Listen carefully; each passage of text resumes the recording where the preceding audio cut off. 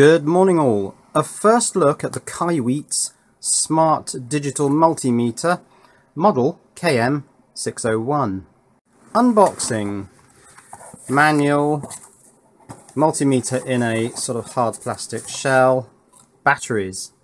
In the box, multimeter, probes, and also a thermistor for temperature measurement. It's got a bumper case for protection, so let's get it out of that. It's an unusual form factor with the big display, but then who's to say a multimeter has to look like this? Power button NCV. Hmm. Torch for flashlight button. There's a little LED there.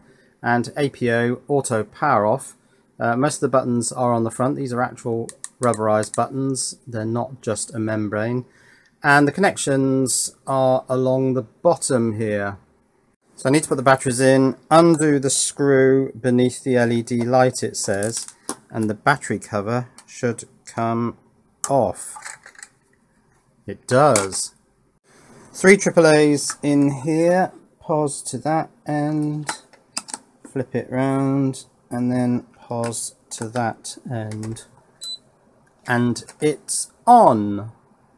So what makes this a smart meter? Well, this, it's automatically scanning for volts, uh, both DC and AC, ohms or continuity. You can go manual and then you can switch between the different modes manually, like so. So using this smart mode, let's first check continuity. Yeah. Now there's a relay click when I do that. So it has to change mode um, in order to check continuity. Okay, let's do a voltage measurement. Here's a lithium iron phosphate cell. And that's 3.264 volts. That's very stable. Okay, 3.264 volts. Uh, what was the other one? Oh yes, ohms. Uh, so a couple of resistors here. Now unfortunately, oh actually there are covers on these. So let's take them off. Oh yes, they might, now I was going to say they don't fit into uh, crocodile clip ends, but I think they will now. Let's get some. Okay, 47 ohm resistor. We're getting a continuity beat, but 46.9, that's pretty good. 680 ohm resistor. No continuity beep. 687.4. I mean, there's no way of knowing whether that's an error in the resistor or the meter. Right, let's do a diode. Now I've left it in smart mode and of course it's treating it as a resistor and telling me it's 1.2 ohms. So now I'm going to have to manually switch to the diode mode. And there we are, 0.605, which is about right. Let's try a blue LED. And yes, it's handling that. The blue LED is lit up uh, fairly dim. And so it's giving me a forward voltage of 2.58. Now, if you put more current through a blue LED, of course, you'll get a higher uh, voltage drop. Okay, capacitor, this is 0.47 microfarads or 470 nanofarads. Oh, I will have to switch it to the capacitor range. Interesting.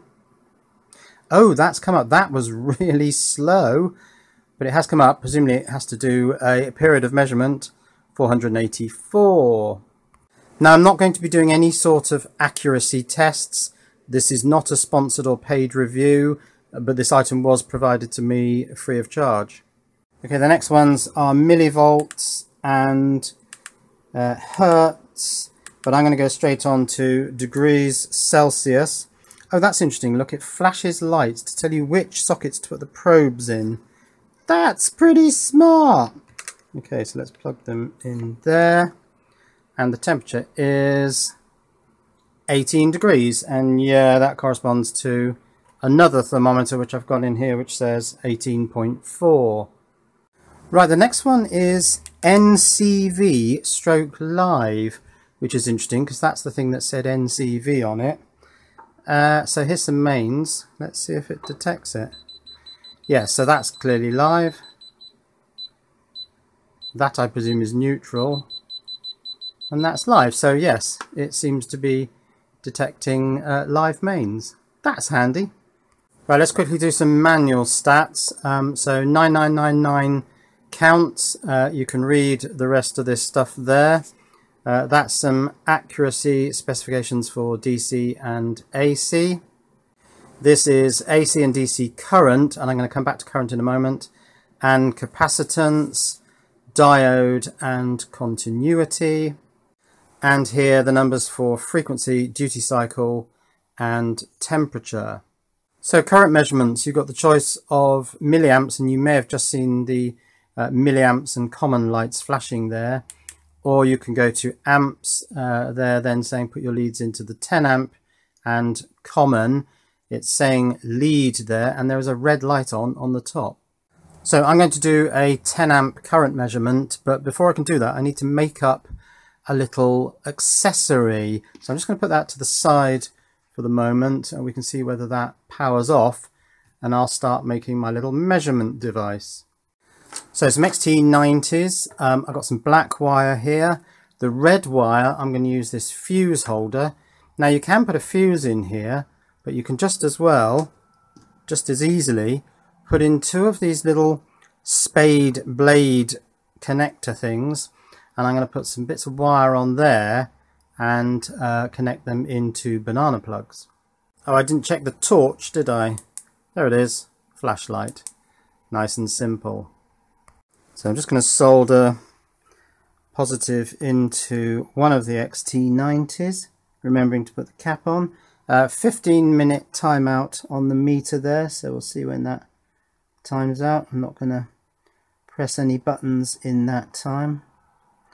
And while I struggle with getting this uh, black wire in there, the Kaiweets has turned off, so the auto power off works. So that's the high current connector XT60 male to female with a fuse and of course you could put a fuse in there but you could also put these in. So I'm just going to make some short leads from these to banana plugs. Now they're both going to be red aren't they? So just making up the banana plug to spade terminal leads. I wanted to get them as short as I could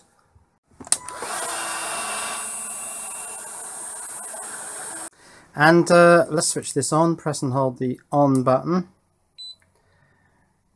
And there's my final measuring tool, XT90 in, XT90 out. Can use a fuse if you want, but you can also use it as a current interrupt, intercept. So now I'm out in the shed and I've got my solar panel coming in here. That's intercepted by the Kaiweets uh, on its 10 amp setting yeah amps. Let's hook up the solar panel positive. Uh, the sun's gone in. Just my luck. And I should get a current reading. Uh, 1.094 on there and up on my meter up on the wall it's 1.10 so that looks pretty good. That was beeping. I'm not sure whether it was saying I'm not measuring any current. Doesn't seem to be beeping now so yeah, that's a, a 10 amp current measurement. That looks pretty good. I'll just check if the sun's going to come out. Yes, it is. There's a hole in the clouds. Um, should get potentially up to 8 amps from that solar panel. 6.1, oh, 6.4, 6.9, 7 amps from the solar panel. So yeah, this is a perfectly good uh, unit for measuring up to 10 amps coming from my solar panel and going into the battery. And uh, using some of these female to female 4 millimeter connectors, I can use my interceptor to hook up a bulb which puts a little bit of resistance uh, between the solar panel and the battery if I want to charge it a little bit uh, slower. And uh, here comes the sun, little darling. Yes, this works as uh, a resistor and also an indicator to indicate whether the sun's shining. That will probably go dim again now because I saw another cloud approaching. Yeah, there it goes. the sun's gone behind a cloud. So that was a first look at the Kaiweets KM601 Smart Multimeter. Links in the description below. Cheerio.